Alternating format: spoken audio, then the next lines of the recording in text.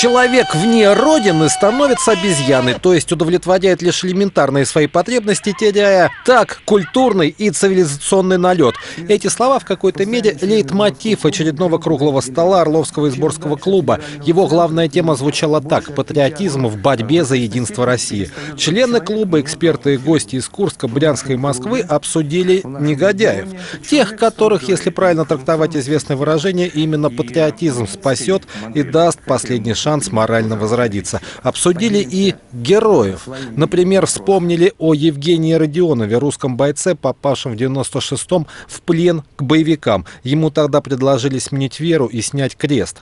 Евгений отказался, за что ему живому отрезали голову.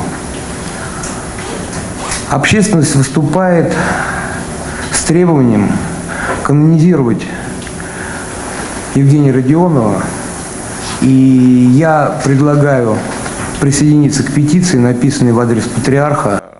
Говорили еще о том, что и патриотизм может быть разным и даже провокационным. Я уже наблюдал людей, которые в тех или иных спорах, э, телевизионных шоу говорят, да я патриот, я за национальный суверенитет России и считаю, что интерес России в том, чтобы подчиниться международным нормам. Истинный патриотизм, чтобы люди жили хорошо, а поэтому ну, не надо, например, развивать вооружение, не надо там лезть на Украину, не надо лезть в Сирию. Надо вот жить у себя тихо, мирно, признать правила, которые нам предлагают, еще говорили о проблеме разобщенности патриотов. Их много, но все как растопыренная пятерня, а не как кулак. Возьмем наши патриотические организации. Э, ну, по роду своей общественной работы э, и научной сталкиваюсь с поисковыми движениями. Раскол страшный.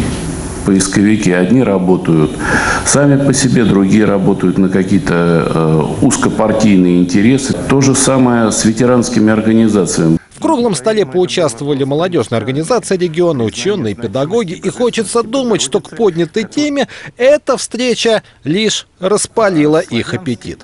Сергей Быковский, Эдуард Чернаускас, телеканал «Первый областной».